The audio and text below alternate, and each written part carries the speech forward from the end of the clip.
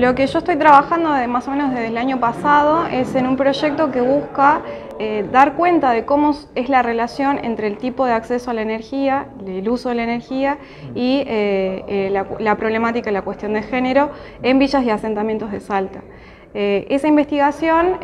todavía en curso, busca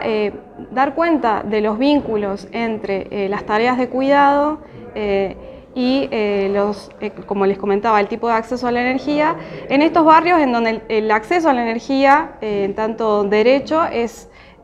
verdaderamente complicado y problemático, ¿sí? y donde al mismo tiempo se puede dar cuenta de que no hay una preocupación y una puesta en discurso por parte de las políticas públicas ni el Estado de esto, la energía en villas y asentamientos de Salta. Lo que sí busco dar cuenta con esta investigación, que tiene una fuerte influencia etnográfica, es cómo en esos espacios donde habitan más de una familia, donde se van agregando permanentemente infraestructuras de vivienda, este, cómo se da la relación con la energía y sobre todo pensando en, las tareas del cuidado de estas mujeres o de estos espacios que, eh, donde hay un gran porcentaje de jefatura femenina. ¿no?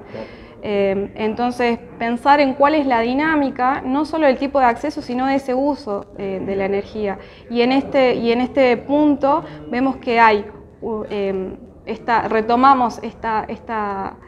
esta vieja denuncia de la teoría de género que dice que las tareas de cuidado es trabajo no remunerado y no reconocido y este trabajo no remunerado y no reconocido se profundiza en tanto tiempo, esfuerzo y peligro ¿sí? en mujeres de sectores pobres de eh, la ciudad de Salta. Yo creo que hay salidas y que nuestro trabajo como científicos investigadores, docentes universitarios es más o menos este,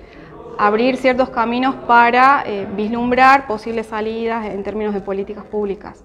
Lo que ha pasado hasta el momento es que las políticas habitacionales dirigidas a mujeres de sectores populares siguen sin problematizar el tipo de acceso a la energía este, y esto lo podemos ver con programas tan recientes como Mi Pieza, ¿sí? que si bien tiene un impacto realmente eh, positivo en, mujeres de asentamientos y villas, eh, no se problematiza el tipo de acceso a la vivienda. Entonces tenemos estos casos que mencionaba en la exposición de criminalización de mujeres, ¿sí? Eh, que han perdido a sus hijos en incendios producidos por las conexiones que tienen o el tipo eh, de recursos con los cuales se alumbran, se iluminan, se calientan, se, se higienizan. Este, y luego de eso, eh, luego de perder a sus hijos, han sido criminalizadas por abandono de personas sin problematizar las condiciones de acceso, los materiales con los que están construidos la vivienda. Entonces, me parece que si bien el Estado a veces este, hace ciertos guiños, como a través de estas políticas como programas Mi Pieza, sigue sin estar contemplada eh, la dimensión energética de esas realidades.